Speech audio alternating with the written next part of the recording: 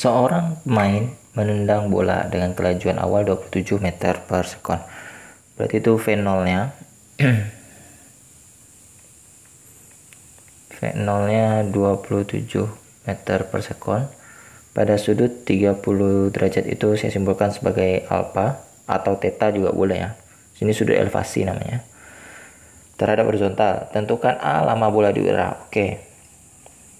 Lama bola di udara di udara. Itu nanti rumusnya T X max. Itu sama dengan 2 dikalikan V0 kalikan sin theta per G. Nah ini dia rumusnya ya. Eh. Ini tinggal masukkan saja angkanya ini ke rumus oh ya saya pakai alpha ya. Berarti ini pakai alpha saja. Nggak usah pakai delta. Nanti bingung kalian. Saya pakai alpha. Berarti nanti ini 2 dikalikan 27 dikalikan sin 30 dibagi 10 ya. G percepatan gravitasi bumi 10 sin 30 itu setengah. Berarti kan nanti TX maxnya sama dengan eh, 54 kalikan setengah dibagi 10 ya.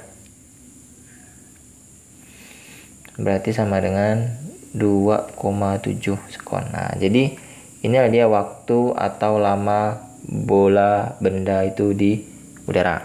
Nah, kemudian tinggi maksimum B. Ini tinggal masukkan saja ke rumus-rumus ya.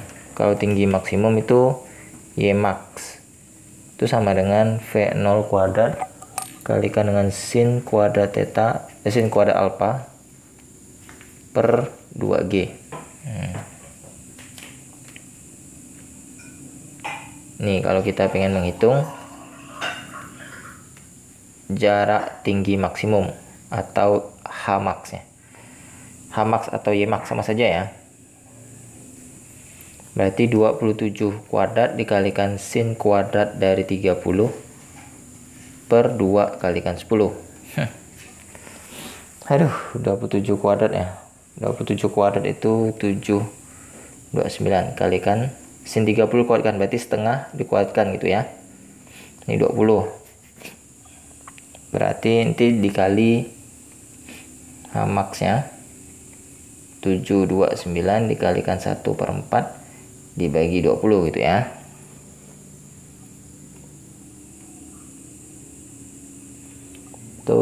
itu hamaxnya nanti sama dengan 9,1125 meter. Nah 9 meter. Sekitar 9 meter lah gitu jatuhnya ya.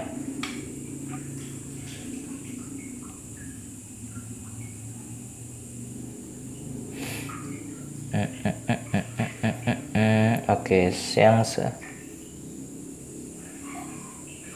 eh? 729 ya?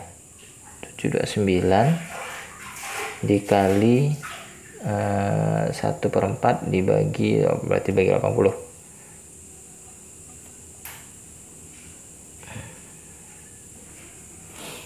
ya betul. 9,125 meter. Oke yang selanjutnya yang ketiga yang C jangkauan bola. Jangkauan bola itu berarti X max nya jangkauan bola itu berarti X max. X max itu sama dengan V0 kuadrat dikalikan sin 2 theta per G. Nah ini dia rumusnya. Maka nanti ini sama dengan V0 kuadrat berarti 27 kuadrat kalikan sin 2 kalikan 30 derajat ya. Berarti nanti ini 729 dikalikan sin 60 derajat berarti ini. Per 10 tx maxnya sama dengan nah, sin 60 itu berarti ini 72,9 sin 60 itu setengah k 3 ini dibagi 10 ya, 7,9 bagi 10 makanya 72,9. Oke.